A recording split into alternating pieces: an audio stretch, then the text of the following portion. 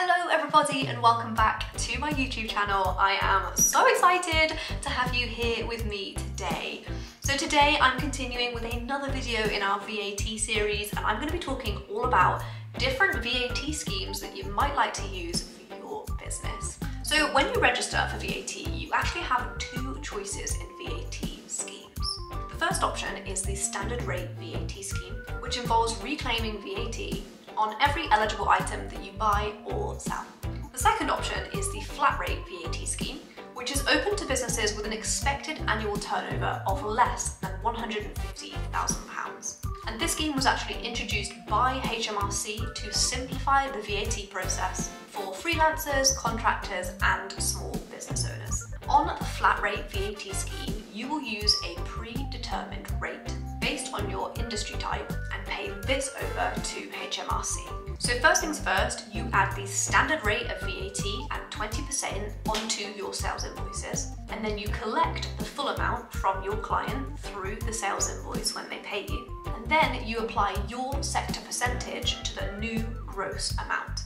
And it's that figure which is then paid over to HMRC. The difference between the two rates is then retained as your business. The difference those two rates is then retained by your business as income. There's a full list of VAT rates specifically for the flat rate scheme, which is available on HMRC's website, and I will include a link to that in the description of this video.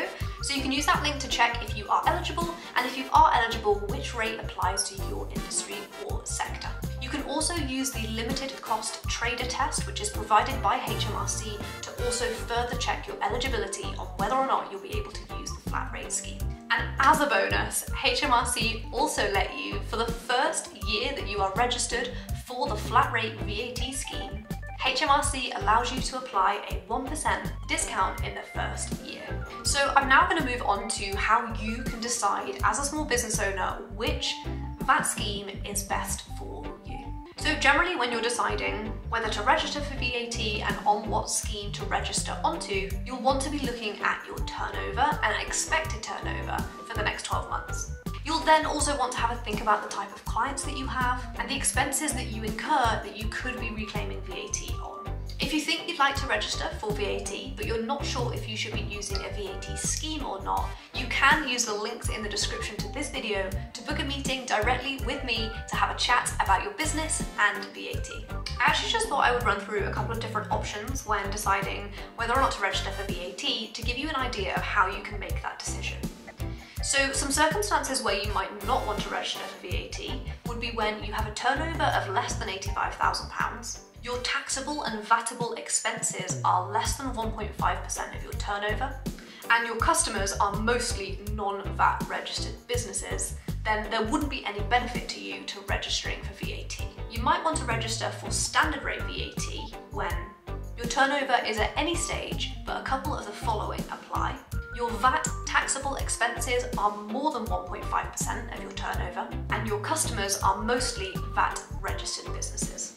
You might consider registering for the flat rate scheme if your turnover is more than 85,000 but less than 150,000, your VAT taxable expenses are less than 1.5% of your turnover, that's when you might consider registering for flat rate VAT.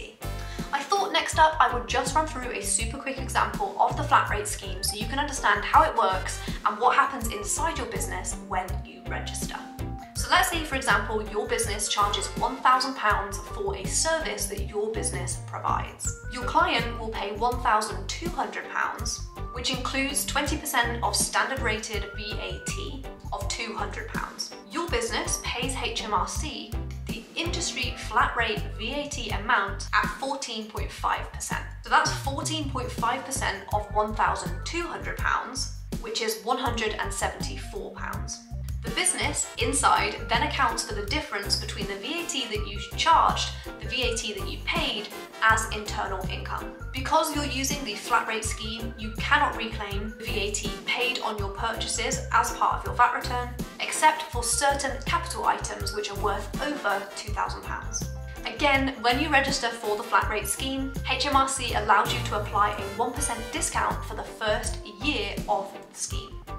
Okay, so that is everything that you need to know about a couple of different VAT schemes. If you are close to the VAT threshold or you're thinking about becoming VAT registered, then we would love to hear from you. You can book some time with me using the meeting links in the description of this video. I would absolutely love to hear from you. I also have a couple of other videos which I'll pop up here now talking about what VAT actually is and then a couple of things that you need to do once you've registered for VAT.